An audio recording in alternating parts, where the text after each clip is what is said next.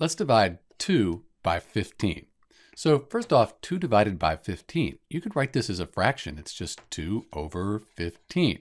So that's one way to look at it. You could also take a calculator and divide 2 by 15 on your calculator. You end up with 0.1333. The 3's, they just keep repeating. So let's get rid of these. And we'll put a bar over the 3 to show that it repeats. So 2 divided by 15, that's equal to the fraction 2 fifteenths, or the decimal 0.13 with the 3 repeating.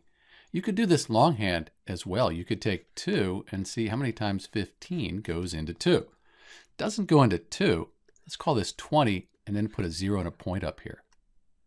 So 1 times 15, subtract, we get 5. So let's call this 50, move over 1. 3 times 15, that's 45. We subtract, we get 5.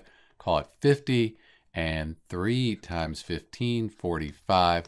You subtract and you get 5. And you can see what happens. We're just going to keep getting 3 here. So that's why when we wrote our answer for 2 divided by 15, we put 0.13 with that bar on it to show that these 3's here, they just keep repeating. This is Dr. B dividing 2 by 15. Thanks for watching.